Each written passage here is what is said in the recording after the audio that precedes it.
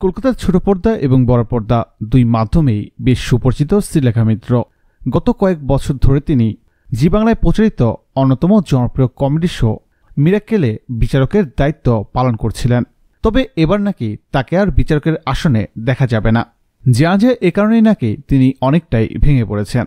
এ বিষয়ে সামাজিক যোগাযোগ মাধ্যমে সোমবার দুঃখ প্রকাশ করেন শ্রীলেখা। যদিও সেই পোস্টে তিনি শোয়ের নাম উল্লেখ করেননি। তবে কমেডি শো থেকে বাদ পড়ার কথা বলতেই দর্শকদের কারও আর বুঝতে বাকি নেই যে এই পোস্ট মিরাক্কেলকে নিয়েই করেছেন তিনি।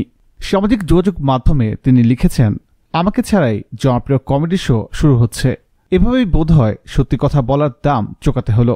শ্রীলেখার ভাষ্য, মিরাক্কেল তার জন্য ভীষণ ইমোশনাল একটা জার্নি। তিনি আরও লিখেছেন, দীর্ঘ কয়েক বছর ধরেই এই শোয়ের অংশ ছিলাম আমি। খুব খারাপ লাগল যে টিমের কেউই আমাকে জানালেন না বিষয়টা। আমি আনঅফিসিয়ালি লোকমুখে শুনলাম। খুব কষ্ট হচ্ছে। এই কমেডি শো নিশ্চয়ই চলবে, কিন্তু আমি নিজেকে গুটিয়ে নিয়েছি। এভাবেই একরাশ দুঃখ নিয়ে নিজের মতামত জানান শ্রীলেখা। অন্যদিকে শ্রীলেখার এই পোস্ট ভাইরাল হতেই তার ভক্তরা উদ্বিগ্ন হয়ে পড়েন। এই শোতে শ্রীলেখাকে আর দেখা যাবে না, তাই অনেক ভক্তদেরই মন খারাপ। প্রিয় দর্শক, এই বিষয়ে আপনার কি মতামত? কমেন্ট করে জানিয়ে দিন।